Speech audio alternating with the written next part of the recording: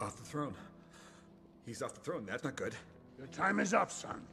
As expected, you failed on your promise. You failed in your quest. You are, in every sense of the word, a failure. And I thought your dad was mean. Hey, we both knew it would end like this, right? You always set me up to fail, at least in that respect. I'm living up to your expectations. Silence! You have brought me much pain, Loki. Right back at you, Dad. Hey! No!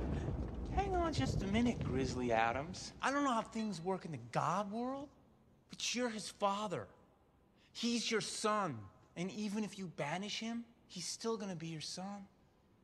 There is nothing more important in this entire universe than your relationship with your family. Especially if you're immortal. You're like a thousand, he's like 800. So you might as well get things right now and enjoy the rest of your eternal life.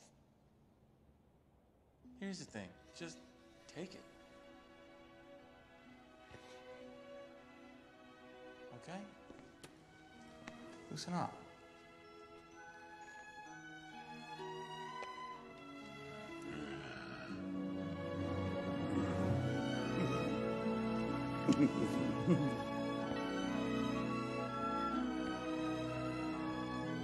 Come on, son.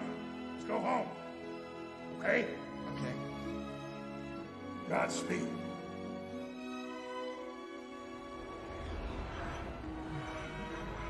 Maybe now I can help you patch things up with Mom? Don't push it.